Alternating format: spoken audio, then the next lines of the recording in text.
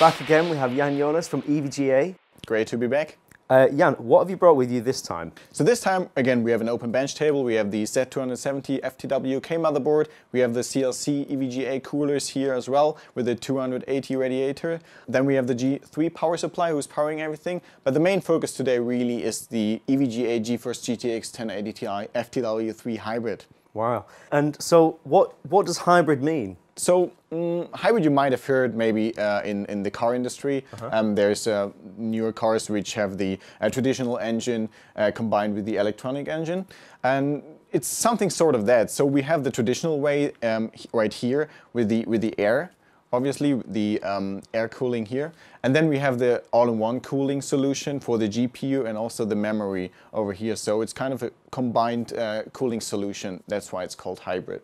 I see. So it's, it's it's effectively moving part of the cooling system off of the card onto a separate kind of radiator unit here. Exactly. So how it works exactly is um, it's an all-in-one cooling solution. So there is no maintenance. You don't have to do custom tubing for water cooling or anything like that. It's really just plug and play. And it comes with a radiator 120 millimeter. It comes with a fan as well. And then you have that uh, GPU block, uh, which we will take uh, uh, later take a look on a little bit closer. So with this hybrid system, um, what are the actual performance benefits? So with the hybrid system, um, I think there are two big points which which we have to point out here. It's um, first of all the the silent, uh, more silent operation you have. So when people really want to have a very silent operation, silent system, then you take a look at that. And the other point is that you get much better cooling for the GPU, which gives you a higher overclocking capability or in total just uh, a more stable system. And that's the big, uh, two big advantages you got with the hybrid system, yeah. So last time you were here with uh, another FTW3 card, yes. Uh, that had ICX technology. Exactly. Does this card also have that? Yeah, it also has ICX technology. And um, as we mentioned before, there are nine additional sensors, right? And there are also three sensors only responsible for the power part for the VRMs basically. Mm -hmm. And because we have that hybrid solution, right, with the with the fan right here, which is only responsible for the power, this fan is basically going by this sensors. So these sensors will define how the fan spins here. And at the very beginning, when the temperatures are low in the power area, of course, the fan will not spin. So that's, again, the silent operation we talked about Excellent. before. So it's not spinning when it doesn't need to spin, basically. Exactly. There's basically a fan curve which you can also set, as we explained before in the, in the ICX video, yeah. Excellent. So it's just fully customizable exactly. for all uses. Exactly. That's fantastic. And what, we, what I also didn't mention yet is um, this is another point which which I really like is the the, the clean look on it. Uh, mm. we, we have here actually some sleeves around the tubing, which gives you first of all a clean look, a nice look, but also uh, you have to imagine you have to sometimes fit it in very small cases, right? Yeah. So bending is also a point which is quite important that you actually can bend those. And if you take a look in here, they're really quite bendable um, yeah. without any problem. They can. They're not going to really, kink or anything. Yeah, they, they can go even quite tight like wow, that yeah. and still work. So how does it all actually work? Um, to take a look at that, I actually brought another card, another FTW3 hybrid, where we can take a closer look. Um, I already removed the screws, so we have it a little bit easier to remove.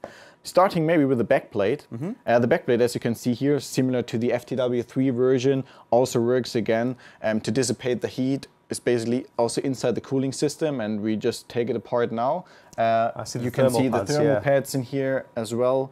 Yeah, there's the two parts of that, so we just take this away. Mm -hmm and then we turn around the card. So, and here's the shroud. So as I said, I removed already all the screws so we can take this apart. You have to take care if you really want to do that by yourself. Sure. There are some uh, little connectors right here, but I already removed them. So now then we come to the actual cooling solution right here. What we have here um, to start with, I take maybe this also apart, is this is the copper base. The copper base, where is the pump included, mm -hmm. which uh, basically uh, controls uh, the, the, the flow inside here, and you can actually control that also with our software, the pump speed as well. But what is really unique in here? So let me take this apart just very quickly. As you can see here, you have also uh, a, a, dedicated copper plate in here, mm -hmm. right? There's not just the copper base. This copper base is responsible for the GPU cooling, but there is another dedicated copper plate around which is actually connected to the copper base to cool the memory ICs. Right, you don't usually see that, do you? Yeah, you, usually don't see that, but it's very important, especially on this generation, not just to take a look at the GPU, but also Yeah. the memory ICs and also yeah. the power. So what we've done here is that's why we install this extra copper plate and cooling the memory basically with uh, these uh, thermal pads you can see here. Yeah, Yeah, excellent. yeah, and that's just comes back here on the memory ICs like that. And then here we have a massive heatsink. So this massive heatsink is um, again for the for the power. Really, the whole power segment is here, and then this fan, the the air fan, is basically responsible for this part, and again controlled by the ICX sensors on the back. So it's quite a sophisticated cooling system, this. It it's, is. It's a lot more thorough than you might find on other cards. Exactly. Oh, wow, fantastic. Okay, so we've seen the hybrid cooling system, we've got the ICX, and obviously we've got the actual power of a GTX 1080 Ti. Um, can we actually see the performance? Of course, sure. So I've already opened here our Precision XOC tool again, right? Um, uh, you can see the temperatures here already. We're at 28 degrees in here, which is already very low. Um, but we will run a benchmark now, uh, the new Superposition from Unigine um, in 4K. So let's just hit the benchmark button on one. With Precision XOC, um, you have that on-screen feature, that OSD, and uh, as you can see there, um, I've, I've also um, selected the, the actual temperatures of the power here as well. So you can read them there. Yeah, GPU temperature is now at 32. It will rise, of course, um, but I mean, we have an we have to be fair. We have an open system here. Sure. In in a closed system, we but we were still under full load under gaming. If you game like two, three, four hours even, um, you probably wouldn't reach more than really 50 degrees. It's Yeah. already max. So I suppose in a case as well, you've actually got an airflow there. So Yeah, in- in some ways, it would be even cooler inside there. Yeah, I mean the GPU temperature really is um, with the, with the normal air cooling, you, you can reach reach like uh, maybe 65 degrees. So with a with the liquid one, you would maximum reach 50 degrees. So this is already pretty pretty big um, advantage here.